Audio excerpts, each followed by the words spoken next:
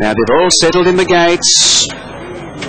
Set to go. Racing in the Patrons Bowl and top spin began well. In fact, they all jumped out in a line. Future Baby and Ace and Ace is going for the lead.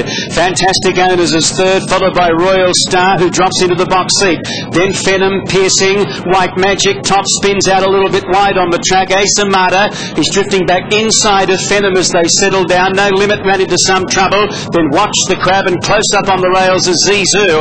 Only six lengths top to bottom, a thousand to go. Future Baby the leader by about a length and a half on Ace and Aces Royal Star third. One out and one back. Fantastic Owners fourth. Then White Magic followed by Fedden and then Ace Armada. Top spin midfield three deep but with cover. Then Piercing followed by Zizou picking up speed on the rails. Then Watch the Crab. No limiters last. Coming towards the home bed in the Patrons Bowl. 600 metres to go. Future Baby the leader by a length on Ace and Aces. A couple away in third as Fantastic Owners. Royal Stars going okay in fourth. Needs a touch of luck. In behind those horses is Ace Armada. Phenom is running on. Top spins right down the outside with Watch the Crab. Top spin four lengths to make up. Coming up with 250 metres to go. Ace and Aces, fantastic owners. Top spin and Phenom, they're trying to level up with these two leaders.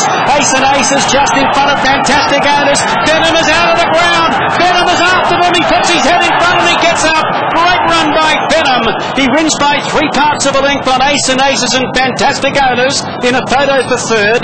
Then top spin. They were followed by